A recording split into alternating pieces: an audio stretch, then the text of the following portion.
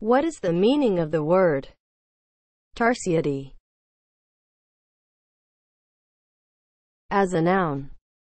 Coextensive with the genus Tarsius tarsiers.